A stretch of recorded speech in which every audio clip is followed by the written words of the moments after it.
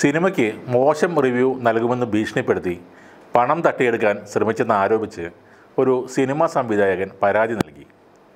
ഈ പരാതിയിൽ ഒൻപത് പേർക്കെതിരെ പോലീസ് കേസെടുക്കുകയും ചെയ്തു. റാഹേൽ മകൻ കോര എന്ന സിനിമയുടെ സംവിധായകൻ ഉബൈനി നൽകിയ പരാതിയിലാണ് പോലീസ് ഇപ്പോൾ കേസെടുത്തത്. കേസിലെ ഒന്നാം പ്രതി സ്നേക്ക് പ്ലാൻ എന്ന സിനിമാ പ്രൊമോഷൻ കമ്പനി ഉടമയും പി ആർ ഒയുമായ ഹെയ്ൻസ് ആണ് യൂട്യൂബർമാരായ അശ്വന്ത് കോക്ക് അരുൺ തരംഗ ട്രാവലിംഗ് സോൾമേറ്റ്സ് എന്നിവർ ഉൾപ്പെടെ മറ്റ് ഒൻപത് പേർക്കെതിരെയാണ് Kochi city police case register ചെയ്തത്. വേറൊരു കാര്യമെന്തെന്നാൽ യൂട്യൂബിനെയും ഫേസ്ബുക്കിനെയും കേസിൽ പ്രതി ചേർത്തിട്ടുണ്ട് എന്നതാണ്.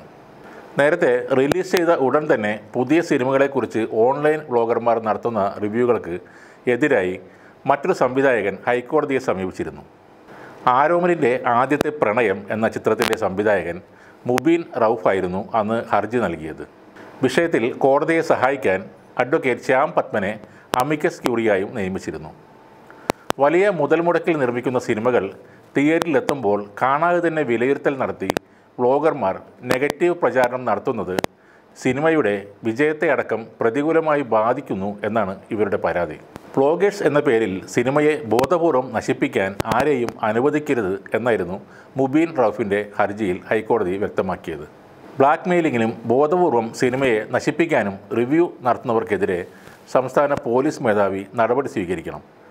എന്നാൽ വ്യക്തികൾ സിനിമ കണ്ട് അത് ഇഷ്ടപ്പെട്ടില്ലെന്നോ ഇഷ്ടപ്പെട്ടെന്നോ തരത്തിലുള്ള നിരീക്ഷണങ്ങൾ നടത്തുന്നത് തടയാനാവില്ലെന്നും കോടതി വ്യക്തമായി പറഞ്ഞിരുന്നു റിലീസ് ചെയ്ത ഉടൻ തന്നെ പുതിയ സിനിമകളെക്കുറിച്ച് മോശം പ്രതികരണം നടത്തുന്നത് റിവ്യൂ ബോംബിംഗ് ആണെന്നാണ് കഴിഞ്ഞ ദിവസം അമിക്കസ് ക്യൂറി ഹൈക്കോടതിയിൽ റിപ്പോർട്ട് നൽകിയിരുന്നത്.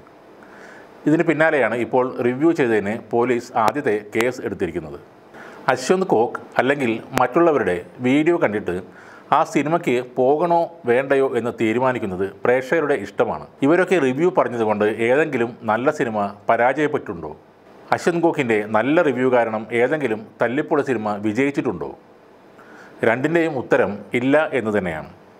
മലയാള സിനിമ തകരുന്നതിന് കാരണക്കാർ ഇവരൊന്നുമല്ല. മോശം സിനിമകൾ ഇറക്കുന്ന സംവിധായകരും അവർക്ക് വേണ്ടി കണ്ണും പൂട്ടി കാശിറക്കുന്ന നിർമ്മാതാക്കളും തന്നെയാണ് ആ അവസ്ഥയ്ക്ക് കാരണം.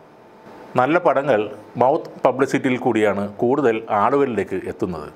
ഇപ്പോൾ ഇറങ്ങിയ Kannur squad Romancham R D X ഒക്കെ വല്ലാതെ പ്രമോട്ട് ചെയ്ത് ഇറക്കിയ സിനിമകളല്ല. മൗത്ത് പബ്ലിസിറ്റിയിലൂടെയാണ് കൂടുതൽ ആളുകൾ സിനിമയ്ക്ക് കയറിയത്. അതിന് കാരണം കണ്ടിരിക്കാൻ പറ്റിയ സിനിമകൾ ആയതുകൊണ്ടാണ്. ഈ കേസുകൾ കൊടുക്കുന്ന നേരം കൊണ്ട് നല്ല സിനിമകൾ ഇറക്കാൻ ശ്രമിക്കുക. എന്ത് മോശം പടം എടുത്താലും അതൊക്കെ വിജയിപ്പിക്കാൻ കേരളത്തിലെ പ്രേക്ഷകർ അത്രയ്ക്ക് മണ്ടന്മാരൊന്നുമല്ല. നല്ല രീതിയിൽ സിനിമ എടുക്കാൻ അറിയാതെ റിവ്യൂ ചെയ്യുന്നവരെ കുറ്റം പറഞ്ഞിട്ട് യാതൊരു കാര്യവുമില്ല. ഇത്തരം കേസിന്റെയൊക്കെ വിധി എന്താവുമെന്ന് ഇപ്പോഴേ എല്ലാവർക്കും മനസ്സിലായി കാണും.